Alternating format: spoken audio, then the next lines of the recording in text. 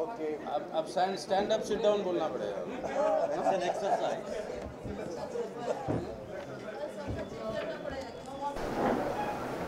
the bulk of this manifesto, which is there in part two, presents the alternative policies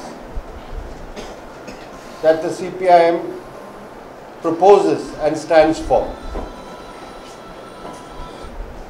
In this 16th Lok Sabha election, in the few days since the announcement of the election, it has become clear that the elections are sought to be projected as a battle between certain leaders and personalities and diverted from and devoid of the major issues and policies which should be of concern to the people who are going to elect a new Lok Sabha and a new government. We have made out a case in this manifesto that after the record of misrule of the Congress led UPA government, in which the striking failures of this government have been the failure to curb price rise, which is relentless, the failure to generate employment, even though they claim high growth, the unprecedented record of corruption and mega scams under this regime, and the failure to deliver in improving the lives of different sections of the people. What we need is, of course, the rejection of the Congress and the UPA and the ouster of the UPA government. But along with that, what is required is an alternative trajectory of growth and alternative policies. The BJP has not got any different set of policies to that of the UPA government. In all the major political and policy issues which confront the country, the BJP is not only not an alternative, but it is a retrograde and reactionary alternative that it presents. Take the case of corruption itself. Here's a party which has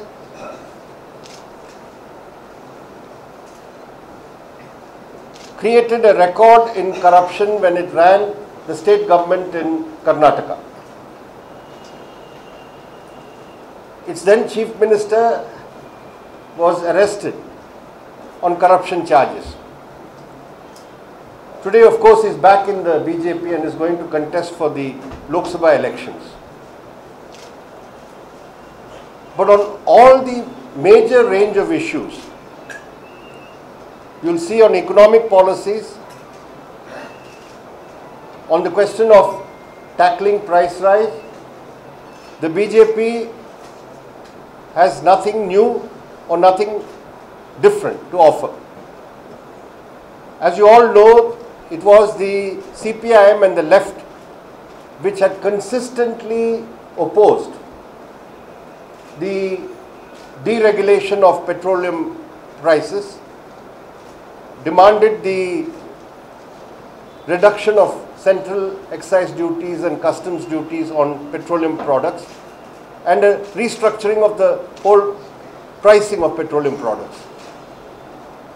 The BJP, when it was in government, the NDA government, did precisely what the UPA government was doing.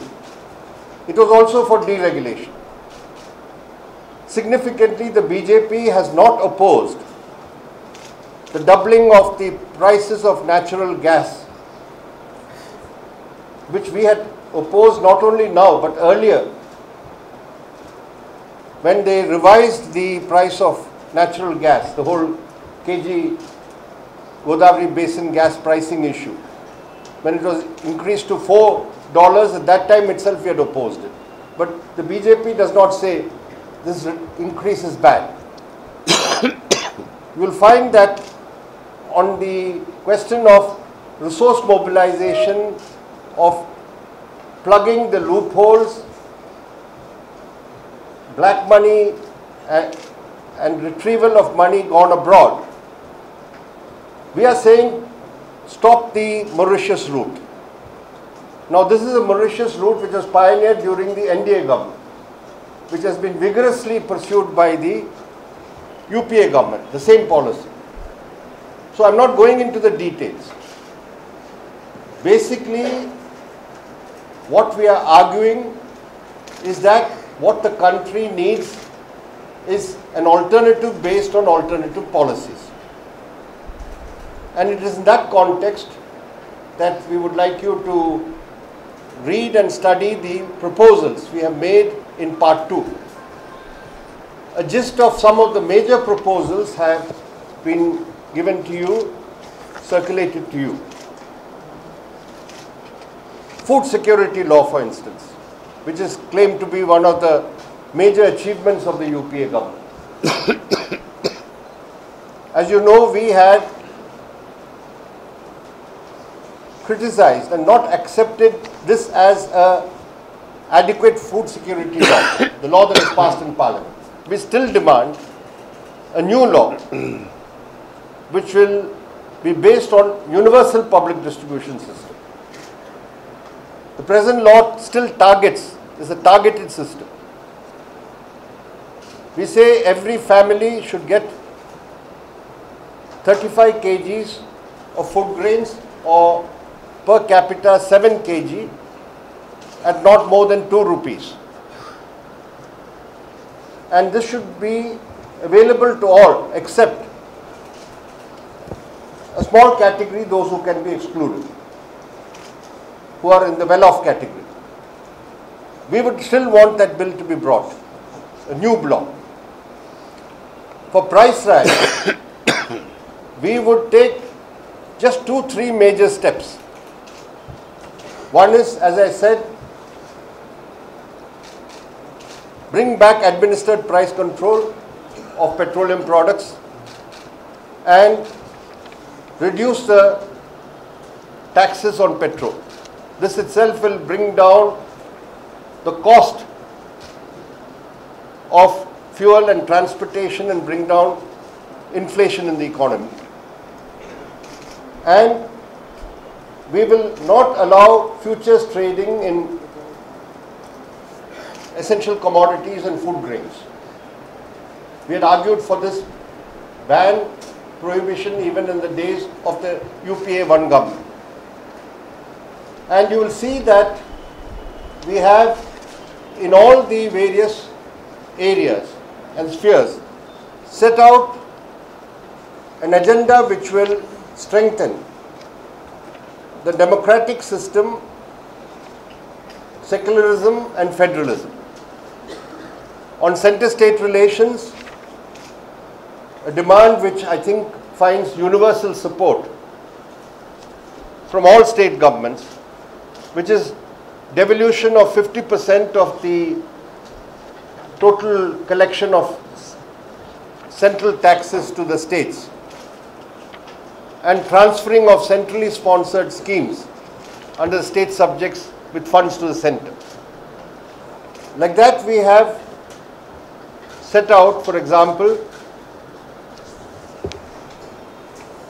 on the land issue, which has become a very key and major question in our country. It's not only a question of stopping forcible land acquisition and providing for a fair deal, compensation and rehabilitation for land when it is taken with the consent of the landowners and others dependent on land.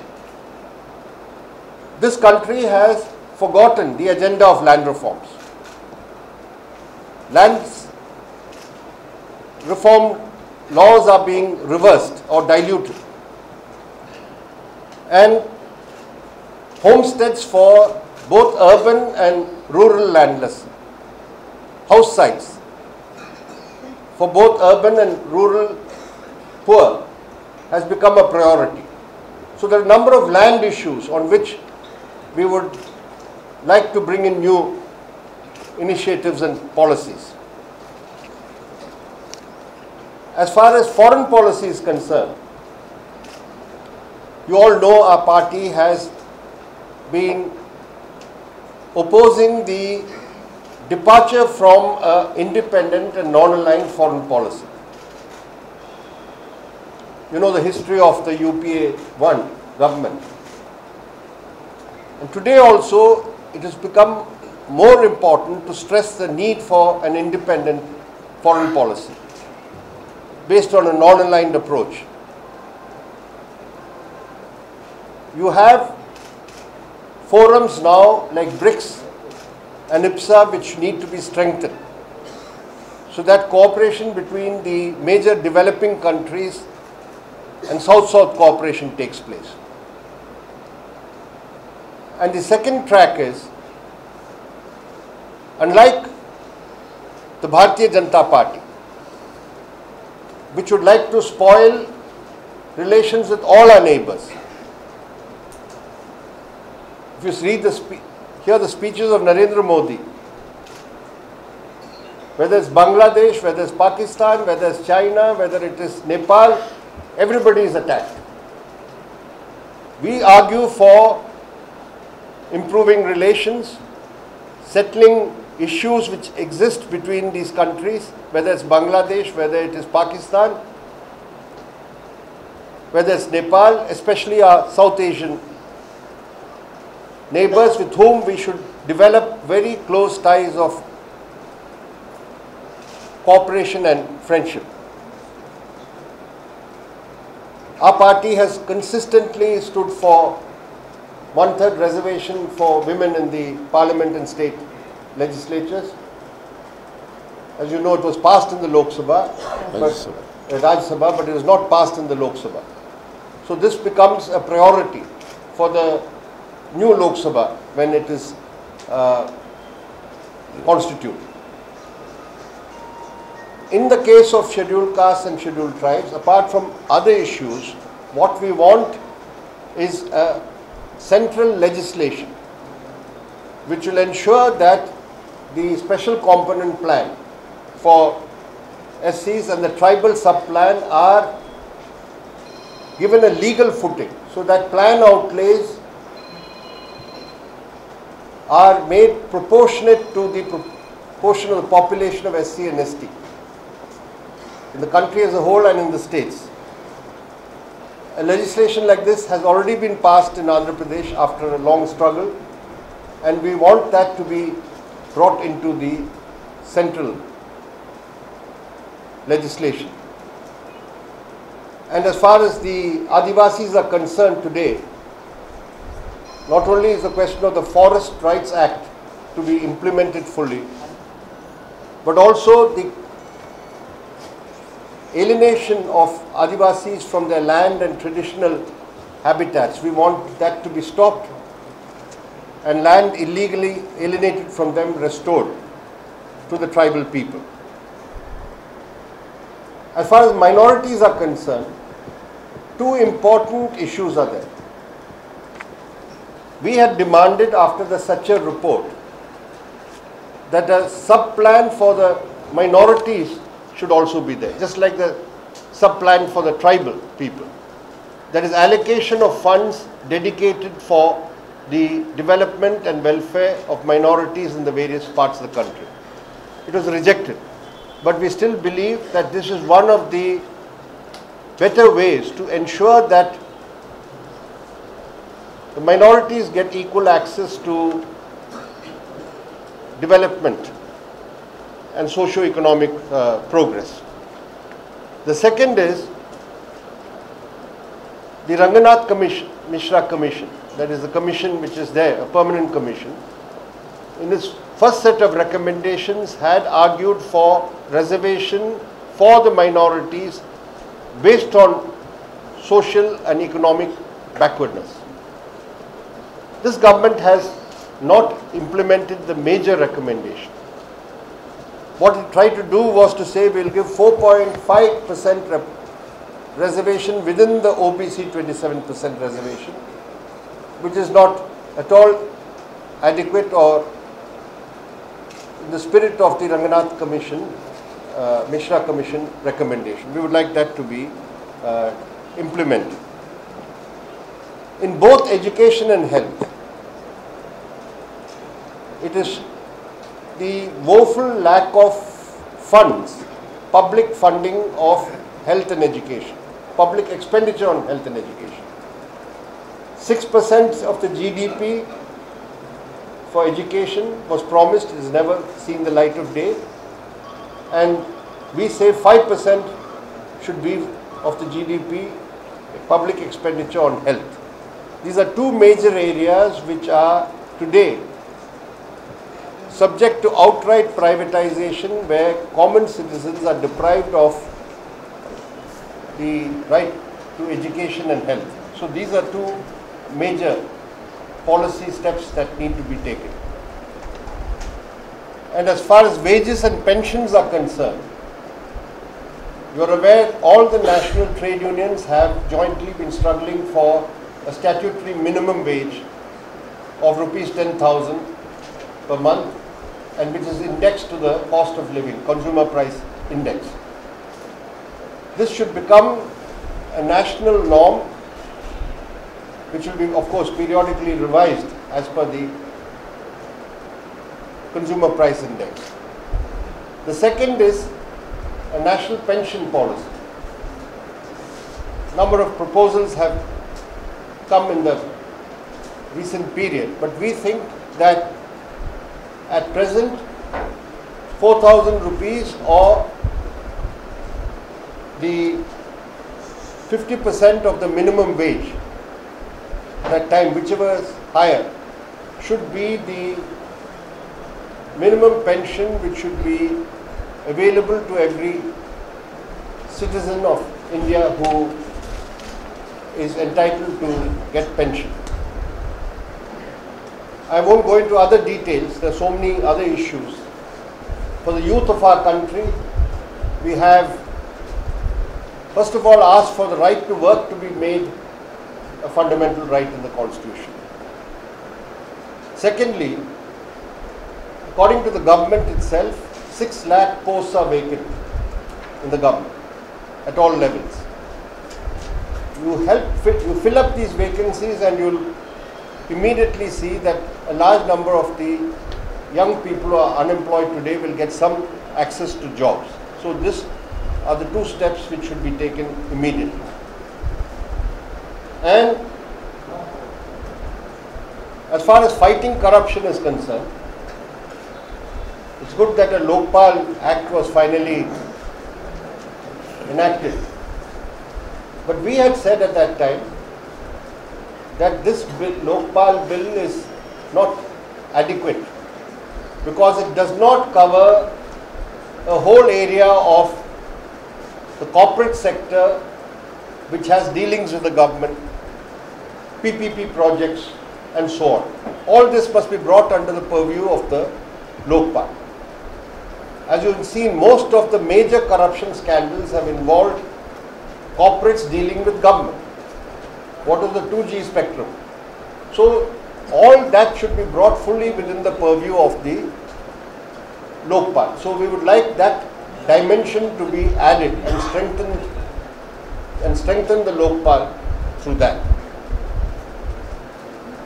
In the case of fighting communalism, we had always wanted a law against communal violence and for rehabilitation and compensation for the victims of communal violence. This has not happened because the law has to keep in mind that federal structure is not infringed. The powers of the states regarding law and order cannot be violated. So we should make a law which will deal with that, but a law to counter communal violence and rehabilitation and compensation for victims of communal violence is required. And finally, I'd like to draw your attention to three or four major constitutional and legislative reforms that we are advocating. The first is Article 3 of the Constitution needs to be amended so that in the case of a division of a state or a reorganization of a state, which powers of it lies with parliament today. We are saying the consent of the state legislature concerned or the states concerned have to be taken. You cannot divide states in a federal setup without the approval or the concurrence of the state legislature. We have seen the experience of the division of Andhra Pradesh. In future, let the state legislature agree, then you can go forward to, parliament can go forward towards bifurcation. We need that sort of amendment to the constitution. The second amendment to the constitution which we are asking for is that all international agreements and treaties should have the approval of parliament. Today your government, which can be a minority government because in our system now we have coalition governments which are minority governments also, surviving on support from parties outside, can sign away various sovereign rights of the country through international treaties. And Parliament has no say in the matter.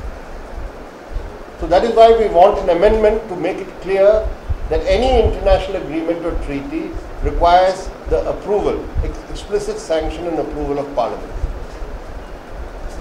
As far as the Armed Forces Special Powers Act is concerned, we have had enough discussion on this matter and we would like the repeal of this act and replacement of that with a suitable law which will enable the armed forces to work, operate within that framework, legal framework. As far as the abolition of the death penalty is concerned, our party is the first national party to advocate the abolition of the death penalty and removal of it from the statutes. We think that is a step we should go towards and we will work towards that in the new parliament. As far as Article uh, Section 377 of the Indian Penal Code is concerned, we are for decriminalization uh, of uh, consensual relationships, same-sex relationships. We have always stood for that and we hope that Parliament will legislate so that uh, decriminalization of such relations take place. So these are some of the points. There are many other issues uh, in the manifesto which uh, I'm sure you can read and then uh, report upon. Yes. Prakash, we are talking about strengthening the left. This is with regard to West Bengal alone, because in Kerala, one left party is with the UDF and in Tamil Nadu, one left party is Jayalalitha. So there is only, in West Bengal already there is so-called left unit. And how do you, See, which left parties you may have, there's no left party in, uh, with Jayalalitha today.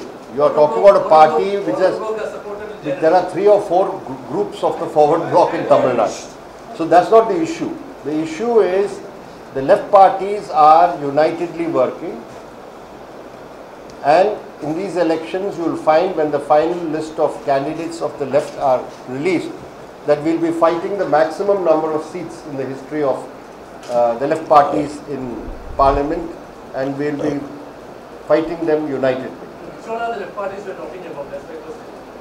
Is RSP a part of the left parties? Of course.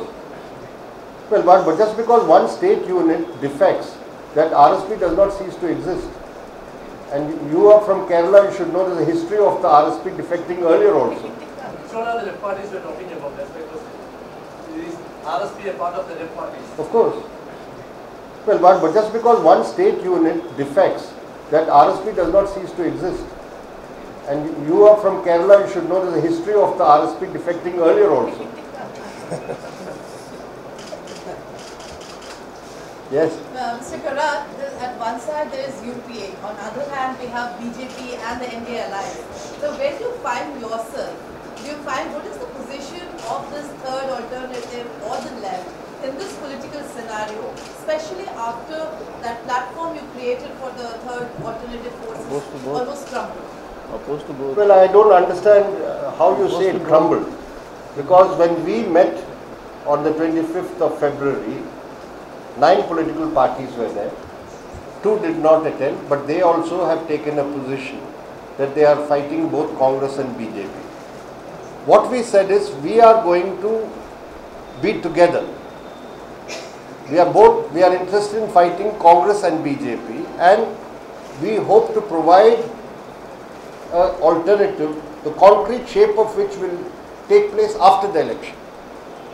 When we had a discussion among all these parties, we, it was clear to us that we will work to maximize our strength and performance of these parties in their respective states and regions and we will pool our resources and strength after the elections.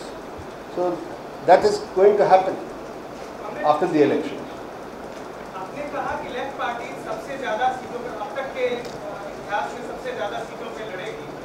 क्या आपने कोई target भी रखा है कि कितनी सीटों पे आपका टारगेट आपका अंदाज़ा है कि आप जीतेंगे? नहीं नहीं टारगेट कोई नहीं है लेकिन हमारी पार्टी की ओर से हम कह सकते हैं कि सबसे ज़्यादा सीटें हम इस बार लड़ेंगे। और कम सौ के करीब सीटों को लड़ने वाले हैं। हम लड़ रहे हैं जीतने के लिए। कितने जीतने के? One state it has happened, but the RSP General is mum on that issue till now. Have you spoken to TJ to this? I am telling you that one unit of the RSP in one state has defected, that's all. RSP is available in two states. Do you think that Well, you ask them uh, how many states they exist. Uh-huh. Why they exist in other states? Bihar they exist, Orissa they exist. They are putting up candidates for your information. Have you spoken to the General Secretary of RSP? I am telling you my party's understanding of what happened in Kerala. That's all. We have already said it publicly, the LDF has said it publicly, and the RSP, All India, has not recognized these people anymore as RSP. do you think that the non-Congress, non-BJP Uh, After the, this is the first press conference after your, you know, so-called third move. Could you please tell us which all parties uh, do you have arrangements or seat arrangements or any political understanding for the 2020 election? As I said, this so-called what you said, because it's so-called, because we never called ourselves a third front for your information. We said we are coming together. And if you will recall, I had explained before this meeting that this is not predicated on any electoral alliances or tie-ups between the constituents of these parties. As far as my party is concerned, we were only looking for an electoral tie-up or understanding in Tamil Nadu with the All India Anna DMK. That has not happened. But we were clear from the outset that this is not the base on which we are going to cooperate. The left parties cooperating with Samajwadi Party or with BJD or Janata Dal S or the other parties is not predicated on our having an electoral understanding necessarily with these parties. Do you think that the non-Congress, non-BJP front could have been a prime ministerial candidate who would be in face of your front? In principle, we are against having a prime ministerial candidate. Because we believe, and I explained this at that time, we are parties based on a federal principle that we represent parties representing different regional parties and state-based parties. Now, it will be wrong for us to project one leader as a prime minister after the elections when we will sit together, if the question arises or the need arises, we will decide upon a prime ministerial candidate or nominee. This happened earlier in 1996, as you know, and it happened earlier in 1989 also. when a non-Congress prime ministerial candidate had to be decided. विकास एक सवाल 2009 में इतिहास में सबसे कम सीटें आपको मिली थी जब से पार्टी आप लोग चुनाव लड़ रहे हैं इस बार के चुनाव में आपको सबसे ज़्यादा सीटें बंगाल से मिलेगी या बंगाल से बाहर मिलेगी। तुलना में Anybody who knows our party, हमारी पार्टी के बारे में समझदारी है तो वो जानते हैं कि हमारी सीटें सबसे ज़्यादा बंगाल केरल और त्रिपुरा से आती हैं। तो ये तीनों राज्यों से सबसे ज़्यादा सीटें मिलने का हमारा उम्मीद है और संभावना भी है। बाकी कुछ और राज्यों में हो सीटें मिल सकता है लेकिन ज़्यादातर सीटें इन तीन राज्यों से आएँगी। Again, we are not leading the campaign business. For Lok Sabha, they are not leading. They are none of them are fighting the election even.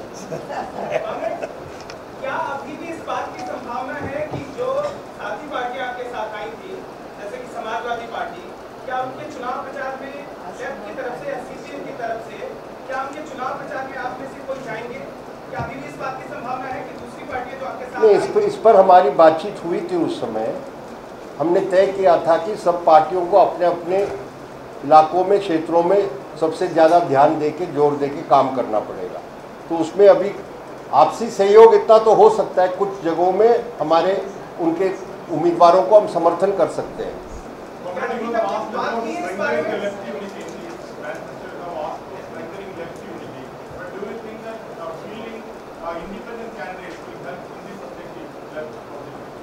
Yes, We have had a his tradition in Kerala, I think you're referring to Kerala, of putting up candidates supported by the left. Every election, we have put up candidates supported by the left. Generally, they are left inclined or they are genuinely independent, but they are prepared to come onto a left platform. So this is this will help the left to gather wider support, and we have had members of parliament and also members of the legislative assembly who have been independents who have been supported by the CPIM and the left. This has always happened. Even in 2004, you will know in Kerala, the MP from Ernakulam was an independent supported by the left.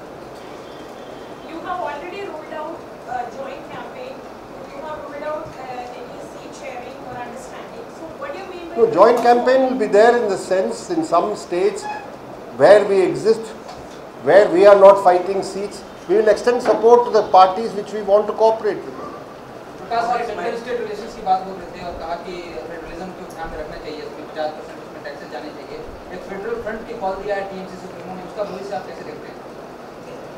अगर federal front का मतलब यह है कि बिना left के कोई वैकल्पिक मोर्चा बन सकता है वो बनने वाला नहीं है कॉमरेड महिलाओं के लिए Okay.